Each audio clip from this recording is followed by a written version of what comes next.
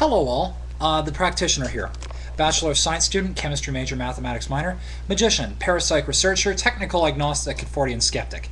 Um, I've been doing some thinking about um, known possible laws or possible explanations for various paranormal phenomena, and I was running through the list of uh, ones that had already been covered. Uh, you know, um, statistical bi- uh, biases, uh, experimental artifacts, and the various things. Uh, and something occurred to me. Something. It was so simple, I didn't realize why I hadn't caught it. Why I hadn't caught it before.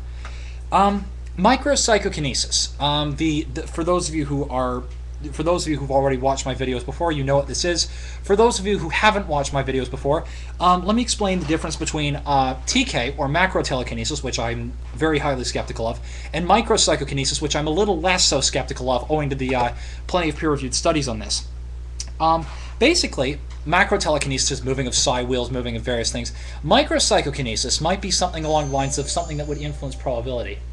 Um, you know, um, uh, you know, dice influence. Um, but one of the best uh, examples of what micropsychokinetic studies have been since the late 1960s was something called random event or random number generators.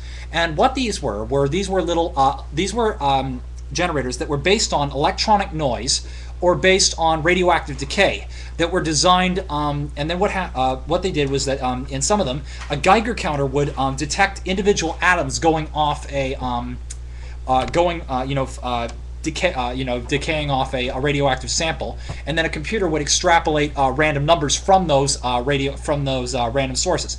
Uh, the electronic noise generators, um, the electronic a computer would read the electronic noise coming off one of these circuits, and then um, you know generate numbers from it. Now the thing is, it occurred to me anyway, they did some. They did quite a few uh, studies on this, and uh, they've they've had in my book uh, some highly suggestive evidence. Note that I said only highly suggestive of uh, you know not you know uh, PEAR's been one of the most controversial, but there have been others. You know, uh, replications by Dick J. Bierman, exploratory studies, um, plenty of work by Helmut Schmidt. a few other laboratories worldwide have managed to get some you know some significant results with this. Um, but anyway, here's the thing which has actually occurred to me about this. People are looking for these, you know, well, what do these phenomena mean, or you know, how do they extrapolate? And I'll give you a very basic example. They don't mean diddly squat beyond their own experimental data, and I'll tell you why. Assuming that uh, these phenomena exist, and we're not, you know, and they're not all just experimental artifacts or incorrect statistical interpretations, or even the, the, the theory which I like to purport a lot, statistical flukes, you know, statistically significant by chance, you know, in areas where there is no experimental artifacts or statistical flukes. Assuming that there is an effect, it's one, it's one that's relatively simple we know from the Heisenberg uncertainty principle that um, that uh, the quantum effects, photons, uh, photons moving, um, electron electrons and their wave patterns and stuff like that, are inherently unpredictable and random. They are random at heart. But when you make an observation, and this is with um, technology, there's always been technology involved. There, um, when you say, for example, in a, in a, double slit experiment, when you try to measure what uh, what slit it went through, you promptly end up influencing the result. It doesn't necessarily matter whether you're intense there or not. The very fact that the very act of measurement does that. Now, people would say like, "Oh, well, it's just your technology. There's no consciousness involved," and I agree with you uh, to a point.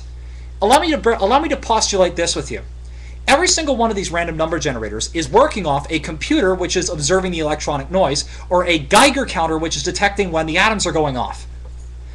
That's the observation part.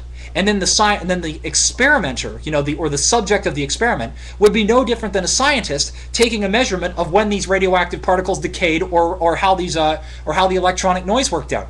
Um, you know, and, and of course, like you know, maybe the proof of it, you know, in terms of comparing uh, you know, uh, experimenters being there, uh, baseline runs, you know, with nobody being there, um, and the like. You know, maybe there is a slightly conscious element in the terms of, uh, uh you know, in terms of interacting with the computer itself, but there might not necessarily be anything more than that. And the point is, is that remember, there's even still debate about the mainstream Heisenberg uncertainty principle, whether consciousness plays an element or not.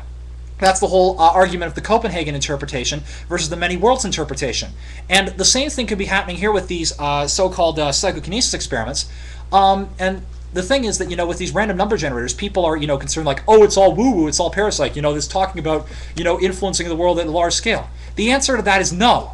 If these micro psychokinetic uh, effects exist assuming that they do you know, then theoretically speaking, they uh, because of the fact that a Geiger counter or a computer is measuring this random data before it's presenting it to the human observer, it's no different than a standard double slit or any other quantum experiment. It is literally no different, and it would fall under the exact same possibilities of, di- uh, of disputes of many worlds interpretation of quantum mechanics, or of uh, or of psych or of um, uh, of, of conscious observe- observation going on here. There is you know, there is literally no difference between the two, and it would just simply be like the possible observer effect of the Heisenberg uncertainty principle playing its part here. Okay. As for macro level psychokinesis, like uh, say for example, like uh, like millions of people thinking worldwide and being able to affect an event. Well, the, the Global Consciousness Project, which has been going on for a while, they've claimed that they've had uh, statistically significant results of a whole bunch of minds focused on one particular event, which have affected the random data, which off these random uh, event generators. Well, due to the Heisenberg uncertainty principle, or due to the you know the hyper focus you know of the observer effect, that would be within the laws of physics. However, it would be impossible for say a group of minds to collectively pray on something and for that uh, for their influence to be able to work on a macro level without some sort of um, you know other physical ex- you know external variable influencing it. You see what i mean? This wouldn't go about beyond the micro level. This you know it, it's completely mirroring if you take a look at these uh, these so-called random uh, you know at these micropsychokinesis experiments with random number generators and the like, and what we're looking at with um, you know with double slit experiments and the like, there's absolutely no difference between the two. They both you know they both got the same contradictions to them. They've both got the the same possibilities of, of conscious observer or not. You know, um, if anything, the only reason I say we should look into micropsychokinesis is one more, uh, you know, and compare those experiments to what happens when, say, nobody observes the data, or what have you, is that it might it might uh, give a better idea in double slit experiments as to whether or not um, you know a conscious observer has happened or not. You know, uh, you know, say for example, uh, someone uh, say try to influence which slit the uh, the uh, photon goes through rather than just simply observing it. You know, try something like that with the you know with uh, with standard quantum mechanics experiments just to see if there is a conscious effect in play here. You know, interacting with the with the technology. But the point is that bottom line, um, we're dealing with the exact same physics here. So um, if you want to do research on it, do research on the double slit experiments and try to see if this stretches. If it doesn't replicate, then we know it's just a standard uh, Heisenberg uncertainty principle thing combined with a statistical fluke. It's just as simple as that. Anyway, uh, I hope that helps. But um, again, like I said, just bear in mind that um, the simpler explanation it's just no different than the uh, possible observer effect of the Heisenberg uncertainty principle. You know, there doesn't seem to be really any difference. So why why look for plurality when there when there need not be? Why why look for some sort of unknown psychokinetic effect here when uh, you know or trying to find some connection to quantum mechanics when at least in micropsychokinesis would be no different than the uh, than the observer effect.